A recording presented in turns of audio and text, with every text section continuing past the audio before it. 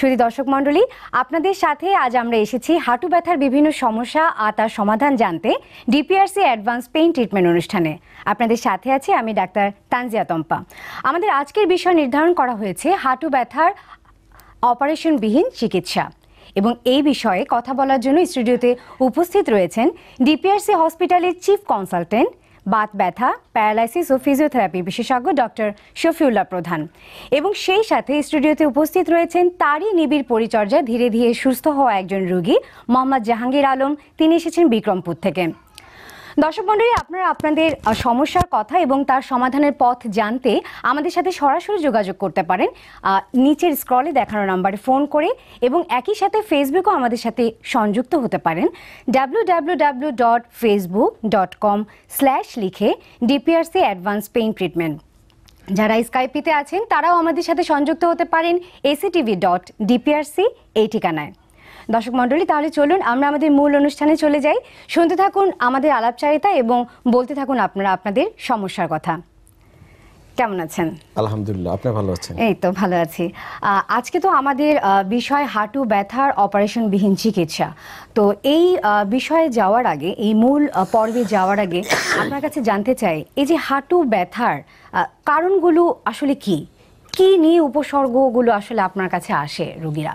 ধন্যবাদ। আসলে হাঁটু one of the largest joint শরীরের এবং সাইনোভিয়াল ভ্যারাইটি জয়েন্ট যে জোড়া খুবই ইম্পর্টেন্ট হাঁটার ক্ষেত্রে হাঁটু খুবই ইম্পর্টেন্ট এবং আপনি কিন্তু বলছিলেন যে বিশ্বকাপে যে ফুটবল প্লেয়ারদের তাদের হাঁটুর খুবই ইম্পর্টেন্ট এখানে। মানে আপনার কেবল বল মারলেই হবে না। হাঁটুর মাসেলের স্পেশালি কোয়াড্রিসেপস এবং টিবিয়ালিস অ্যান্টিরিয়র এবং হ্যামেস্ট্রিং মাসেলের অনেক স্ট্রেংথ লাগে। কারণ আপনার যত জোরে কিক করা যাবে, তত আপনার ফোর্স হবে। সে ফোর্স ক্রিয়েট করে বাই মাসেল এবং সেক্ষেত্রে জোড়াও ভালো থাকতে হবে। এবং এই জোড়াগুলা দেখা যায় যে আমরা যে রুগীগুলা পাই, এই এই রুগীগুলা কিন্তু একদিনে আমাদের কাছে আসে না বা একদিনে একটা হঠাৎ সমস্যা নিয়ে সাধারণত আসে না। যেহেতু আমরা টার্সিয়ারি লেভেলের ট্রিটমেন্ট করি রিহ্যাবিলিটেশন নিয়ে কাজ করি নট অনলি হাঁটু ব্যথা, হাঁটুর ব্যথাজনিত, হাঁটুর আঘাতজনিত, হাঁটুর অসুস্থতাজনিত বিভিন্ন ডিফর্মিটি নিয়ে আমাদের কাছে আসে। যে হাঁটু বেঁকে নিয়ে আসে genu varus valgum deformity recurvatum deformity নিয়ে আসে পাশাপাশি কোমর ব্যথা নিয়ে আসে মানে ওতপ্রোতভাবে জড়িত এবং রুগীগুলা আমাদের কাছে যে আসে দেখা যায় যে মোস্ট অফ দ্য রুগী সেকেন্ডারি টার্সিয়ারি বিভিন্ন কমপ্লিকেশন নিয়ে পাশাপাশি আসে। তখন এক পর্যায়ে অনেক সময় রুগী ব্যথার কথা তো থাকেই। অনেক সময় রুগী বলে আমি কিন্তু এখন আর দাঁড়াতে পারি না। বা আমি এখন হাঁটতে গেলে পড়ে যাই। বা সে স্টেট আপনি যে বলছেন বসেও সে খেলা দেখতে পারে না। মানে যে কনস্ট্যান্ট বসে থেকে খেলা দেখবে বা বসে থাকবে সেটা তার দ্বারা সম্ভব হয়ে ওঠে না। তো তার মধ্যে আমরা যে আমাদের যে রিসার্চ ওয়ার্ক আছে এবং আমরা দেখেছি মোস্ট অফ দ্য কেস ইউসে আর্থ্রাইটিস জনিত সমস্যা। অস্টিও আর্থ্রাইটিস এবং এই কেসগুলা বেশিরভাগই বয়সজনিত এবং আর্থ্রাইটিসের মূল কারণই ইজ এজিং প্রসেস এই বিষয়ে একটা কথা বলতে চাই যে আসলে বেশিরভাগ সময় তো দেখা যায় যে খেলা দেখছে যদিও অথবা যুবক যুবতী সবাই মিলেই খেলা দেখছে। কিন্তু এই যে যুবক বয়সের অথবা এই যে যুবতী বয়সের যে ব্যথাগুলো আর্থাইটিস যেটিকে বললেন এটির তাহলে কারণগুলো কি? কারণ অস্ট্রিও আর্থাইটিস তো আমরা যতটুকু জানি এটা ডিজেনারেটিভ প্রসেস বয়সজনিত। যেটা কিনা আসলে একটা এজিং প্রসেস হয়। কিন্তু এই কম বয়সে, হ্যাঁ, এদের কারণটা কি তাহলে? জি ধন্যবাদ। আসলে কম বয়সে হাঁটু ব্যথার মোস্ট অফ দ্য কজই হচ্ছে আমরা যে রোগীগুলো পাই অ্যানাদার আর্থ্রাইটিস যেমন আপনারা জানেন মানে প্রায় ছয়শো টাইপেরও আর্থ্রাইটিস পাওয়া যায় বিভিন্ন রকম। এর মধ্যে ইয়াং রুগীদের আমরা বিভিন্ন যেমন কম বয়সী মহিলাদের আমরা যেটা পেয়ে থাকি রিউমাটয়েড আর্থ্রাইটিস তারপরে বাচ্চাদের জুভেইনাল আর্থ্রাইটিস বা sero positive arthritis sero negative arthritis এবং আমরা বাংলাদেশে আরও রুগী পাই যেমন টিউবারকুলার আর্থ্রাইটিস যে ইনফেকশন জনিত বা সেফটিক আর্থ্রাইটিস বা অনেক সময় বার্সাইটিস থেকেও হাঁটু ব্যথা হতে পারে। তো ইয়াং রুগীদের ক্ষেত্রে মোস্ট অফ দ্য ক্ষেত্রেই দেখা যায় যে আপনার যে অটোইমিউন ডিসঅর্ডার জনিত আর্থ্রাইটিসগুলো আমরা পেয়ে থাকি। কিছুটা আপনার যেটা বলছেন যে খেলা মানে আঘাতজনিত কিছু সমস্যা অনেক সময় নিয়ে আসে রুগীরা। যে খেলতে গেলে আঘাত পেলেই যে হাঁটুতে সমস্যা হবে তা না। অনেক কারণে হতে পারে চলাফেরা উঠা বসা বা কাজের থেকে হতে পারে না খেলতে গেলেই যদি আসলে ব্যথা পাওয়া হতো তাহলে হয়তো বা ব্যাপারটা এতটা না। কারণ আমরা তো দেখি যে খেলায় তারা প্রচুর ব্যথা পাচ্ছে।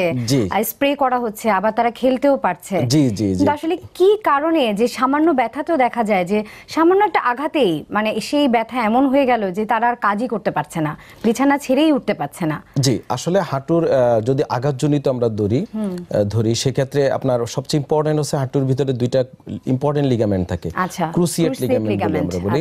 Anterior and posterior cruciate ligament এবং হাঁটু যে বাটির উপরে বসানো থাকে মানে উপরে ফিমারটা টিবিয়ালের উপরে বসানো থাকে সেখানে দুটা কুশন টাইপ সাবস্টেন্স থাকে ইংরেজি সি অক্ষরের মতো দেখতে সেগুলো সেটাকে আমরা বলি মিনিসকাস এই মিনিসকাস এবং ওই যে ক্রুসেট লিগামেন্ট এগুলো প্রায় ইঞ্জুরি হয়ে থাকে।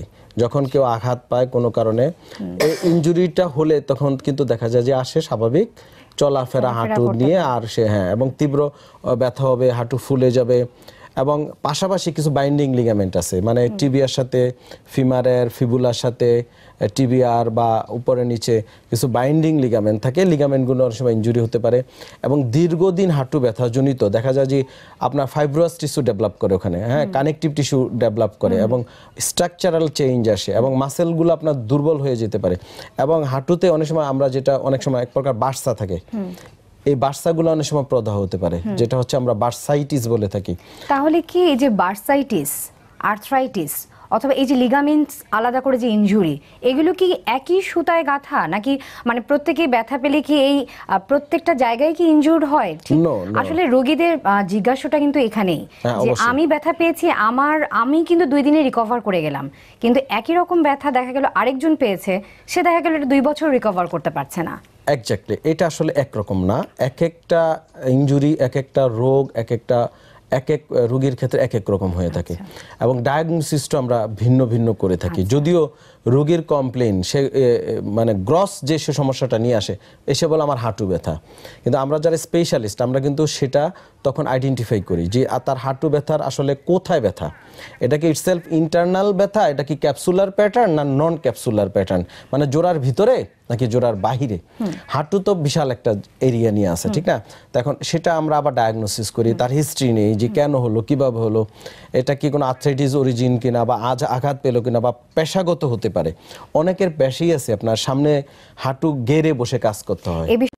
নিয়মিত স্বাস্থ্য বিষয়ক আপডেট ও পরামর্শ পেতে আমার ইউটিউব চ্যানেলটি সাবস্ক্রাইব করুন ও উপরের ডান পাশের বেল বাটনটি চাপুন এবং আপনাদের অন্যান্য সোশ্যাল মিডিয়ায় এই ভিডিওটি শেয়ার করুন।